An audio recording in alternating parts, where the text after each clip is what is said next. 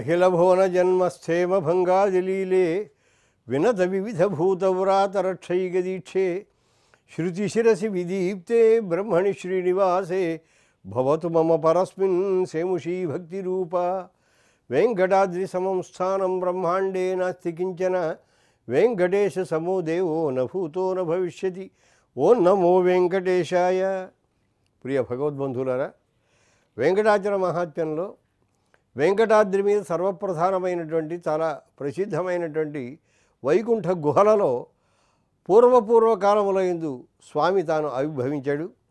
పరమపదంలో ఉండేటువంటి పరమపదనాథుని యొక్క స్వరూప స్వభావాలు ఎటువంటివో ఆయన ఏ విధంగా కూర్చుని ఉంటాడో ఆ కూర్చునేటువంటి అదే శైలిలో ఇక్కడ ఆవిర్భవించినట్టుగా మనకు వారాహ పురాణం వర్ణించింది. అందువల్ల ఈనాడు మనకు స్వామి నిలబడి మనకు ఆ విగ్రహం కనిపిస్తోంది. కానీ అతి ప్రాచీన కాలంలో స్వామి శ్రీనివాసుడు వెంకటపతి అలా లేడు.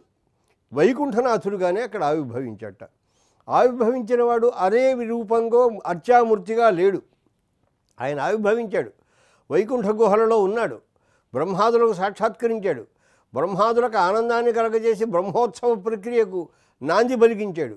కానీ తరువాతి కాలం ముందు ఆ ప్రభువులకు వారు కనిపించినప్పుడు వారాహ రూపంలో గోచరించాడు. మరీ క కలియుగ ఆరంభంలోకి వచ్చేటప్పటికల్లా ఆ కాశీరాజు మొదలైనటువంటి వారికి ఆ పద్మావతి యొక్క కరపరిగ్రహణం అయిన తర్వాత ఇప్పుడు ఈనాడు మనకు వెంకటేశ్వరుడు ఏ విధంగా ఉన్నాడో పద్మావతి సహితుడుగా ఆ విధంగా మనకు గోచరించాడు. గ- ఈనాడు గోచరించినట్టుగా ఆనాడు ఆవిర్భవించాడు. అంతేగాని అతి ప్రాచీన కాలంలో మొట్టమొదటిగా ఆ వెంకటాద్రికి వచ్చినప్పుడు మాత్రం ఈ దశలో లేదు అన్న విషయాన్ని చాలా స్పష్టంగా వర్ణించడం జరిగింది. ఆ వెంకటాద్రి వెంకట ఆ అద్రి మీద ఉండేటువంటి వైకుంఠ గుహల యొక్క వైభవం ఏమిటి? ఆనాడు వారు వానరులంతా కూడా వైకుంఠ గుహల్లో ప్రవేశించినప్పుడు చతుర్భుజములతో శంఖచక్రాలతో కూడినటువంటి ఆ పార్షద వర్గాన్ని భృత్యవర్గాన్ని నరనారి వర్గాన్ని అంతటిని దర్శించారు కదా. అద్భుతమైనటువంటి సింహాసనాన్ని చూచారు. సింహాసనం మీద వేయించేసి ఉన్న స్వామిని చూచారు. శ్రీభూ నీళ్ళను చూచారు. స్వామి యొక్క దివ్య సంహరణాన్ని దివ్య మం- మంగళ విగ్రహాన్ని వారు ద- దర్శించారు. మరి ఇవాళ మరి అది వాస్తవమా? వారు దర్శించింది కాదా అని అంటే వాస్తవమే. అది స్వామి యొక్క అనుగ్రహం చేతనే వానులకు ఆ రకమైన దర్శనము కలిగినది అన్న విషయాన్ని మునుల యొక్క శంకకు సమాధానం చెబుతూ ఆ- ఆశంకకు సమాధానం చెబుతూ సూతుడు అంటున్నాడు. వెంకటాద్రౌ గృహాదృష్ట గుహాదృష్ట కాచిద్ వానరసత్తమై ఇచ్చుక్తం భవత సూత వేద వేదాంగపారగా ఏవయ్యా నువ్వు చెప్పింది అబద్ధం అనుకున్నాలా? వాళ్ళు చేసి సూచినటువంటి వాళ్ళు అబద్ధం చెప్పారనుకోవాలా? వాళ్ళు సామాన్యులు కాదు. వాళ్ళు ఎటువంటి వాళ్ళు? వానర సత్తములు వానరులో పరమశ్రేష్ఠులు. వాళ్ళు తమకు కలిగిన అనుభవాన్ని అబద్ధముగా వాళ్ళు చెప్పవలసినటువంటి అవసరం లేదు. నిజంగా అబద్ధమైతే వాస్తవంగా వాళ్ళు కల్పించి చెప్పవలసిన అవసరం లేదు. నువ్వు చెప్పావు నువ్వు సామాన్యుడు కాదు వేదాంగ వేదాంగ పార పారంగతుడివి. అందువల్ల ఏం జరిగినదో వాస్తవం నీకు తెలుసును కనుక నీవు ఆ విషయాన్ని చెప్పవలసినది. గుహ అక్క ఏమిటి అసలు ఆ గుహ? వదనో బ్రహ్మన్ శ్రోతం కౌతూహలం హిన. అది వినాలి. ఆ వైకుంఠ ఇటీవల కాలంలో కూడా ఈ వైకుంఠ గుహల గురించినటువంటి చాలా ఆశ్చర్యకరమైనటువంటి విషయాలు మన వాళ్ళు చెబుతున్నారు. ఇప్పుడు ఇవాళ మనం వెబ్ ఓపెన్ చూస్తే అక్కడ యూట్యూబ్లో కనుక ఒకసారి చూస్తే ఈ వై వెంకటాచలము అందులో ఉండేటువంటి ఆశ్చర్యకర సన్నివేశాలు అని అంటే డిఫరెంట్ టైటిల్స్ తోటి అక్కడేవో ఏవో అనేకములైన విషయములు మన వాళ్ళు తీసుకొచ్చి అందులో పెడుతున్నారు. అందులో ఇటీవల వైకుంఠ గుహలు ఎక్కడ ఉన్నాయనే దాని గురించి కూడా పరిశోధన చేసి కొందరు మేము చూసాం వైకుంఠ గుహలు అంటున్నారు. సరే వీళ్ళు వైకుంఠ గుహను చూచారా? లేదా అన్న విషయం ఉంచండి. కానీ వైకుంఠ గుహలు అనేవి ఉన్నాయా లేవా అంటే ఉన్నవి అని మాత్రం పురాణం చాలా చాలా నిక్కచ్చిగా మనకు నిరూపించి చెబుతున్నది సప్రమాణంగా చెబుతున్నది. శ్రూయతాం అభిధాస్యామి దేవమాయామయ శృత. ఇదంతా దేవమాయయ్యా. భగవంతుని యొక్క ఆశ్చర్యకరమైన శక్తి మాయ అంటే అబద్ధం. లేనిదున్నట్టు కనిపించడం కాదు. మాయ మాట్లాడాడండి. అంటే కలబులి మాటలో ఏవో అబద్ధాలు ఆడాడు. ఉన్నవి లేనట్టుగా చెప్పాడని అర్థం వస్తుంది. ఇదంతా మాయ అండి. ఉత్త మాయగాడండి. ఈ లోకంలో ఈ మాయా శబ్దానికి అర్థం వేరుగా ఉంది. కానీ ఇక్కడ దేవమాయ అన్న దానికి అర్థం ఏంటంటే భగవంతుని యొక్క ఆశ్చర్యకరమైన శక్తి. ఆ శక్తిని గురించి నేను విన్నానయ్యా. అందువల్ల వైకుంఠాఖ్య గుహాసాతు దుర్జ్ఞేయ మునియోగిభి. మునుల చేత యోగుల చేత కూడా దుర్జ్ఞేయ వారు. ఎంత గొప్ప మునులైనా ఎంత యోగులైనా కానీ వారి బుద్ధికి కూడా అందదు. ఎందుకంటే భగవంతుని యొక్క తత్వం ఏతో వాచో నివర్తంతే అప్రాప్య మనసాసహ ఆనందం బ్రహ్మణో విద్వాన్ అభిభేతి కుతశ్చన. ఆనంద స్వరూపమైన భగవంతుని యొక్క ఆ స్వభావాన్ని తెలుసుకోవడానికి వాచో నివర్తంతే అప్రాప్య మనసాసహ ఆ వైదిక వాక్కులు కూడా అవి వెళ్ళలేక మా వల్ల కాదండి మేము చెప్పలేమండి అని వెనక్కి వస్తున్నాయట. అంటే పరావరజ్ఞులైన మహానుభావులు కూడా తత్వాన్ని దర్శించలేరు. ఒకప్పుడు దర్శించడం చాలా కష్టం అవుతుంది. అంటే సామాన్య బుద్ధుల సంగతి చెప్పేదే ఉంది అందువల్ల మునియోగిభి మునుల చేత యోగుల చేత కూడా దుర్జ్ఞేయ వైకుంఠాఖ్యా గుహ. ఈ వైకుంఠ గుహ అనేది తెలియదగినది కాదు. తెలియదగినది కాదు అంటానికి తెలియడానికి వీలైనది కాదని అర్థం తెలియరానిది అని అర్థం కాదు. తెలియటానికి వీల్లేనిది దుర్జ్ఞేయమైనది. లీలయా విష్ణునా పూర్వం వానారాణం ప్రకాశిత. ఆ విష్ణు అనేటువంటి మహానుభావుడు సర్వవ్యాపకుడైనటువంటి ఆ నారాయణుడు తన యొక్క ఆ లీల చేత అంటే తన ఆశ్చర్యకరమైనటువంటి శక్తి చేత అనా అనాయాసముగా దేనినైనా చూపించడానికి కావలసినటువంటి శక్తి అదే లీల అంటాము. అదే మాయ యొక్క ఒక ఛాయయే అటువంటి ఆ మాయ చేత తాను దర్శింపజేశాడు. ఎందుకోసం వానరులను అనుగ్రహించడం కోసం. ఆయన కృష్ణావతారంలో ఎన్నో లీలలు చూపించాడు. ఆయన ఆశ్చర్యకరమైన మా గోవర్ధన పర్వతాన్ని ఎత్తి చూపించాడు. ఇంకోటి ఏదో ఆ ద్వారకా మహానగరాన్ని ఏడు రోజుల్లో నిర్మాణం చేయించి అద్భుతంగా అన్ని జాతుల వారు అక్కడ నివసించి ఉండేట్టుగా వ్యవస్థ చేశాడు అద్భుతంగా. ఏమండి? ఈ ఎన్నో ఎన్నో కృత్యములు ఆశ్చర్యకరములైనటువంటి కృత్యాలు ఆయన చేశాడు. ఇవన్నీ ఆయన మాయా ప్రభావం చేతనే చేశాడు. మాయ అంటే ఆశ్చర్యకరమైన శక్తి అని అర్థం అనమాట. భగవంతునికి మాత్రమే ఉండేటువంటి ఆశ్చర్యకర శక్తి. అందుకే దైవీశేష గుణమయ్యి మమ మాయా దురత్యయ. ఇది చాలా దివ్య సంపద కలిగినటువంటిదయ్యా. ఇది సామాన్యులైన వాళ్ళకి అందుబాటులో ఉండేది కాదు. మామయ్యవయే ప్రపంచంతే మాయామేతాన్ తరంతితే. నా యొక్క ఆశ్చర్యకరమైన శక్తి ఆ పరిధిని దాటి నా యొక్క యథార్థమైన తత్వాన్ని మీరు గ్రహించారంటే నన్ను ఆశ్రయించవలసిందే తప్ప మరొక మార్గం లేదంటాడు. అందులో భగవంతుడే తాను కావాలనుకున్నప్పుడు తన వారికి ఆశ్చర్యకరమైనటువంటి దర్శనములన్నీ కూడా చేస్తూ ఉంటాడు. నందాదులు ఒకప్పుడు అడిగారు ఏమయ్యా నువ్వేదో ఒక దివ్యధామం నీకు నువ్వు మా అబ్బాయివి? సరే వాళ్ళందరూ అడుగుతున్నాడు నందగోకులంలో ఉన్నటువంటి వాళ్ళు ఏమయ్యా మరి మీ కొడుకు ఏదో చాలా గొప్పవాడని చెప్పాను అనుకుంటున్నారు ఆయన చేసిన పనులు కూడా అలాగే కనిపిస్తున్నాయి. ఆయన ఇక్కడ వాడు కాదుట ఆయన వైకుంఠుట్ట ఆయనకి ఏదో ఉత్తమమైన లోకం ఉందిట మరి మరి గర్గుడు మొదలైనటువంటి మహానుభావులను మేము అడిగితే వాళ్ళు చెబుతున్నారు. ఎందుకంటే ఇక్కడ కృష్ణుడు ఇంత ఆశ్చర్యకరమైన కృత్యాలు చేస్తున్నప్పుడు వాళ్ళకి ఆ ఒక సం- శంక కలిగింది.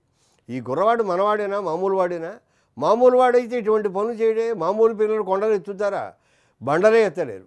ఏమండి ఒక కాళీయ మహాసర్పాన్ని నిగ్రహించగలరా? ఒక దవాగ్నిని మృంగగలరా?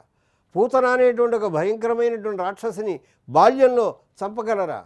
ఈ తృణావర్తుడు మొదలైనటువంటి వారందరినీ కూడా నిగ్రహించగలడు. ఇవి ఓ సామాన్య బాలుడు చేసేటువంటి పనులు కావే. అందులో ఇది మాయామానుష విగ్రహుడు ఈయన. అందులో ఈయన వెనకాల ఏదో గొప్ప మతలబ్బు ఉంది అనుకున్నారు అనుకున్న రోజు ఏదో చప్టా దగ్గర కూర్చున్నప్పుడు ఆ బృందావనంలో నలుగురు ఒక చావడి లాగా ఉంటుంది. ఒక చెట్టు కింద కూర్చున్నారు. కూర్చున్నప్పుడు నెమ్మదిగా దగ్గర చేరారు. ఏమయ్యా నందుడా మీ సంగ మా మీ అబ్బాయి సంగతి ఏమిటి అని అన్నారు. అంటే సరే ఏమో నాకు తెలియదయా అందరూ మా అబ్బాయి మా అబ్బాయి అంటున్నారు మా అబ్బాయి సామాన్యుడు అనుకుంటాను తప్ప మీరు చెబితే తప్ప ఆయన ఇంత గొప్పవాడో నాకు తెలియటం లేదు. సరే అడుగుతా నేను. నీకేదైనా దివ్యధామం ఉందా? అని నేను అడుగుతాను మా వాడిని అన్నాడు. అని వెళ్ళాడు. వెళ్ళి ఏమయ్యా? ఈ నందగోకులంలో ఉన్న వాళ్ళంతా వృద్ధులంతా కూడా చోలు చెవులు కొరుక్కుంటున్నారు. ఇంద్ర నారదాది దేవతల నారదాది మహాములు వచ్చారట.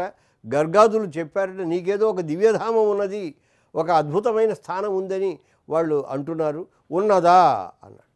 అంటే పాపం కృష్ణుడికి వంచన చేయాలని అనిపించాల. ఆయన మహామాయవియే అవసరమైతే మాయ కప్పేస్తాడు తత్వాన్ని తెలియకుండా చేస్తాడు. ఎందుకంటే తత్వం తెలిస్తే వాళ్ళు మనుషులుగా ప్రవర్తించరు. వాళ్ళలో ఒక రక అతిలోకమైన స్థితి వస్తుంది. తల్లి తల్లిగా ఉండదు తండ్రి తండ్రిగాను ఉండడు. ఇంకా బిడ్డను చూస్తే భయపడతారు. అందుకని వాళ్ళను మాయను కమ్మి మా బిడ్డ అనే భావన కలిగేటట్టుగా ఎప్పటికప్పటికి చేసుకుంటూ వస్తున్నాడు. ఈవాడ మరి తండ్రి జిజ్ఞాస చేస్తున్నాడు. మరి ఏం చేయాలి అనుకుని సరే తేజ బ్రహ్మహ్రదం నీతా అని మనకు భాగవతం చెబుతుంది. బ్రహ్మహ్రదం అని ఒక మడుగున్నది ఆ మడుగుకు తీసుకువెళ్ళారు. ఆ మునగండి అందరూ అన్నారు. ఆ నందగోకులంలో ఉన్న వాళ్ళంతా ముసలివాళ్ళు ముతకవాళ్ళు ఇటువంటి ఆసక్తి గల వాళ్ళంతా నందగోపుడితో సహా వీళ్ళు ఒక్కసారి అందులో మునిగారు. మునిగేటప్పటికల్లా బ్రహ్మాండమైనటువంటి ఆవరణములు ఆవరణ సప్తకం ఉంటుంది. అంటే మనకు పురాణాలు వర్ణించింది ఏమిటంటే ఇది ప్రకృతి మండలం దాటిన తర్వాత అది భూమి యొక్క పరిధిని పైన ఆకాశం మహాకాశం ఉంటుంది.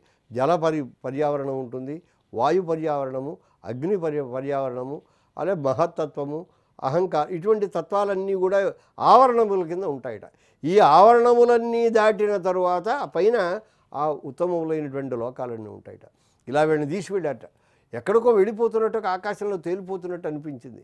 ఒక్కొక్క లోకం ఒక్కొక్క లోకం తన కళ్ళ ముందు జారిపోతుంది. దూరంగా వెళ్ళిపోతుంది. వెళ్ళిపోతుంటే అక్కడ గవాన్ లోకంచే శాశ్వతం. తమ యొక్క తన తాను ఉండేటువంటి గోలోకం అనేటువంటి ఒక దివ్యమైన లోకం ప్రకాశశీలమైన లోకం కాంతివంతమైనటువంటి మహాలోకం. అక్కడ గోవులు ఉంటాయి కొన్ని వేల గోవులు లక్షల గోవులు ఉంటాయి ఆ గోవులు ఇచ్చేటువంటి అవిశ్రాంతంగా ఇచ్చేటువంటి క్షీరం ఏదైతే ఉందో ఆ క్షీరమే అది ఇబ్బడి ముబ్బడిగా ఏర్పడి ఒక మహా సాగరంలాగా ఏర్పడింది. ఆ సయత్ర క్షీరాబ్ధి అని ఆవుల యొక్క పొదుగుల నుంచి జారిన పాలే క్షీరసాగరంగా ఏర్పడింది అని మనకు వర్ణిస్తాయి. గ- గర్గ సంహిత మొదలైనటువంటి గ్రంథాలు బ్రహ్మ సంహిత అనేటువంటి గ్రంథ చెబుతుంది. అందువల్ల ఇటువంటి ఆశ్చర్యకరమైనటువంటి స్థితి తాను కావాలి అనుకుంటే తన వాళ్ళకు చూపిస్తాడు. ఆశ్చర్యకరమైన విషయాలు ఎన్నో చూపిస్తాడు. బలరాముడు పక్కన ఉన్నాడు. ఈయన ఒక్కడే అనేక మంది రూపాలు ఎత్తేసాడు బ్రహ్మ వ్యామోహన ఘట్టంలో. అంటే బ్రహ్మగారు ఈ కుర్రాడు ఎవడో ఎవడో ఉన్నాడు ఏడు అవతారం అవతారం అంటున్నారు అందరూ. ఇది నిజమేనా కాదా? ఒకసారి పరీక్ష చేసి చూద్దాం అని ఆ వాళ్ళందరితో కూర్చుని తలుదులు గుడుస్తున్నటువంటి దశలో ఆ గోపకులందరినీ చుట్టూ కూర్చోబెట్టుకుని ఆహారం తింటుంటే ముందు గోప పిల్లల్ని బా మాయం చేసి వాళ్ళ ఆవులను మాయం చేసి దూడలను మాయం చేస్తే పాపం ఏం చేస్తాడు? ఒంటికాయ సొంటుకుమల ఈయన ఒక్కడే మిగిలాడు. మరి సాయంకాలం పూట ఈ ఆవులన్నీ దూడలన్నీ తోలుకొని పిల్లల్ని తీసుకుని నందగోకులానికి వెళ్ళాలి. అక్కడ వెళ్ళకపోతే తల్లులు తలడిల్లిపోతారు ఏం చేయాలి?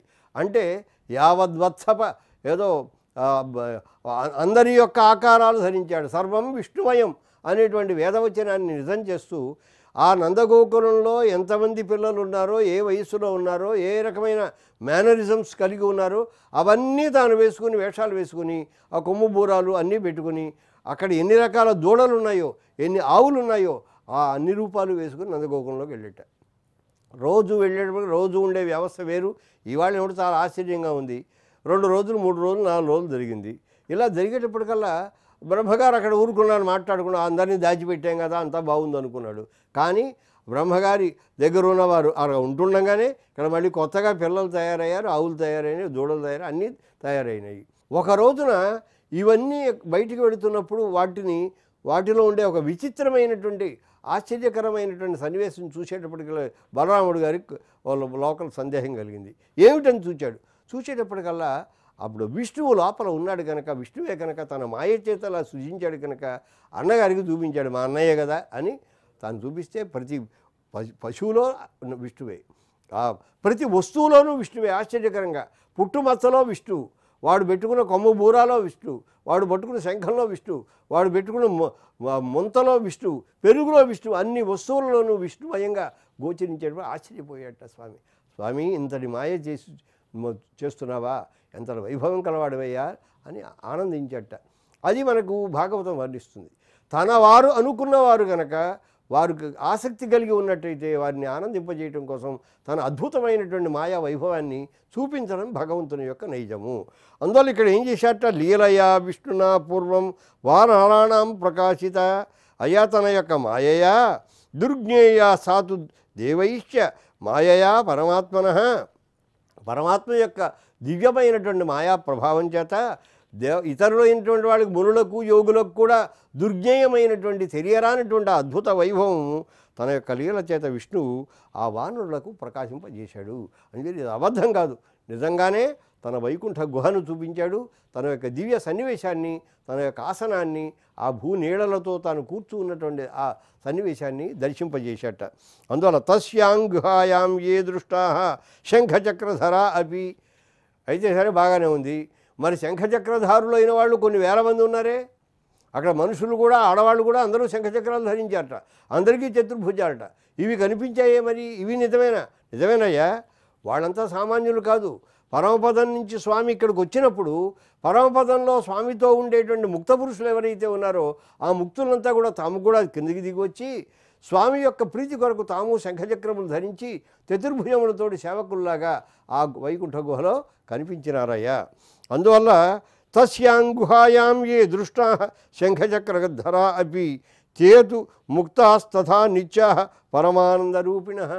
పరమదంలో రెండు రకాల వాళ్ళు ఉంటారు. ఎప్పుడైనా మనం ఉపాసన చేస్తే ఉపాసనా బలం చేత మనం ముక్తిని పొందుతాం.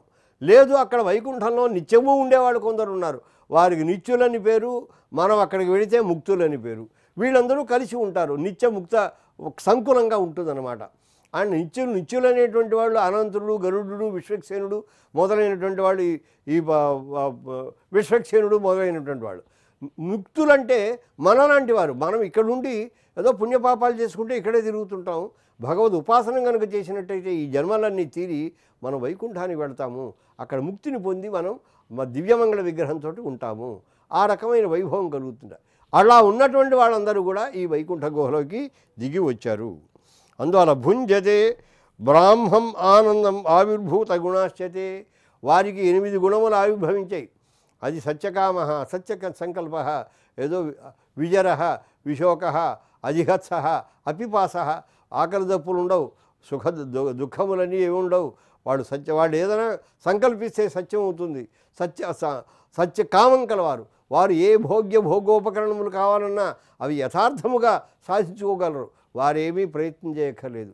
ఇటువంటి అద్భుతమైన ఎనిమిది గుణములు ఉంటాయిట ఆ ముక్త పురుషుల ఎందు ఆవిర్భవిస్తాయిట అటువంటి ఎనిమిది గుణములు. పరమాత్మ ఉండే గుణములే ఈ జీవుల ఎందు కూడా ఉంటాయి. అటువంటి గుణారు ఆవిర్భావం కలిగినటువంటి మహానుభావులు భావ్యంతా వచ్చారు. ఆనందరూపా సంచరంత కామరూపా వాళ్ళు అనేకానేక రూపాలు ధరించారు. ఎవరెవరికి ఏ రూపంగా ఉన్న చెట్లుగా అయిన వారు కొందరు పర్వతములుగా అయిన వారు కొందరు శిఖరములైన వారు కొందరు చెట్లకు ఉండే పండ్లుగా అయిన వారు కొందరు పూలుగా అయిన వారు కొందరు అనేక అనేక అక్క అక్కడ ఉండేటువంటి పశుపక్షాదులుగా తమకు కావాలని రూపాన్ని ధరించినటువంటి వాళ్ళు. అందువల్ల కామరూపాహ ఆశ్చర్యకరమైనటువంటి రూపములు కలిగినటువంటి వారు అటువంటి వారు సంచరంత లోకాన్ భగవతా భగవంతునితో పాటు ఆయా లోకాలకు స్వేచ్ఛగా సంచరించేటువంటి యోగ్యత గలవారు. వారేనయ్యా ఈ వానరులు కనిపించిన వారు. వీరు మహానుభావులు చాలా గొప్పవారు. ఇది అందువల్ల సా మహావిష్ణువు తాను చూపించినది మాయా వైభవం చేతి చూపించింది వాస్తవమే తప్ప ఇదేమీ అసత్యము కాదు సుమా అనే సూతుడు శౌనకాదులకందరికీ కూడా నిరూపించి చెప్పినట్ట. అటు తర్వాత అంటాడు ఆనందరూపా కైంకర్యం కుర్వంత బ్రహ్మణోహితే వసంతి తత్ర సతతం బ్రహ్మణ పరమేష్ఠిన. అక్కడ చతుర్ముఖ బ్రహ్మగారు కూడా ఉంటుంటారట. అంటే దేవతలందరిలో కూడా ఉత్తమమైనటువంటి యోగ్యత కలిగినటువంటి వాళ్ళు చాలా తక్కువగా ఉంటారు. చతుర్ముఖ బ్రహ్మకు మాత్రమే ఆ యోగ్యత ఇచ్చాడు. ఎందువలంటే నారాయణుడు యొక్క నారాయణుడు తన యొక్క నాభికమలంలోంచి ఆవిర్భవింపజేశాడు బ్రహ్మను. ఆయనకి వేదములు ఇచ్చాడు.